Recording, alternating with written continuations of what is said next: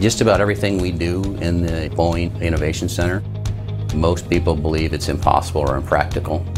There's always reasons of why not. And a lot of those times those are based on widely held beliefs and paradigms. And our job is to shatter those and focus on the physics and make things practical. Avant d'être autorisé à sillonner le ciel, un avion doit remplir de nombreuses conditions pour obtenir l'aval des différents organismes de certification. Une série de tests est donc réalisée en laboratoire, au sol comme en vol, un processus qui prend environ un an et demi à l'avionneur.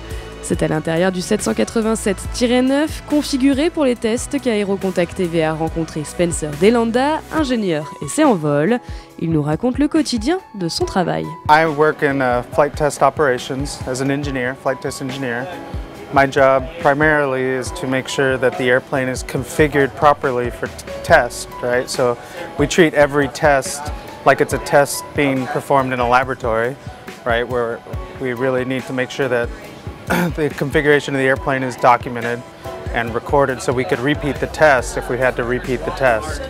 So um, yeah, so that's basically what my job is. What, what we do is we follow this airplane, the first um, three airplanes of build, and we make sure that the airplane is, is built with test equipment installed, and we make sure that the right, the proper test equipment is installed on the airplane for test. So we, we start early on in the factories all over the world. We go to Japan, um, make sure that our wings are built properly with the right test equipment. Right? We go to Italy, for example. We go to Wichita, Kansas. We go, we go to different places to make sure that we have our test equipment installed on these first three airplanes. And we work very closely with the suppliers to make sure that they get our requirements for test um, the tests that are laid out by our FAA, the you know, Federal um, Aviation Association. Le 787, équipé des moteurs Rolls-Royce et aux couleurs d'All Nippon Airways, est entré en service le 6 août. La compagnie japonaise est ainsi devenue le premier opérateur du nouveau modèle.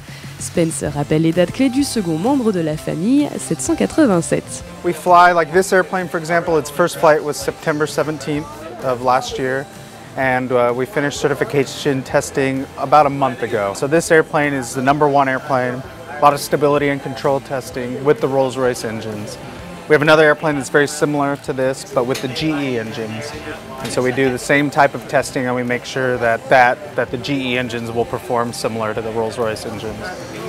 Anna a reçu son premier 787-9 le 29 juillet. 14 autres devraient rejoindre sa flotte à compter de 2016. Air New Zealand a quant à elle pris possession de son premier Dreamliner le 8 juillet et passé commande pour 9 autres 787-9. Une livraison prévue jusqu'en 2017, le premier vol commercial pour la compagnie néo-zélandaise fixé au 15 octobre prochain. A noter que c'est ce premier modèle qu'Air France a également commandé avec une première livraison prévue pour janvier 2017.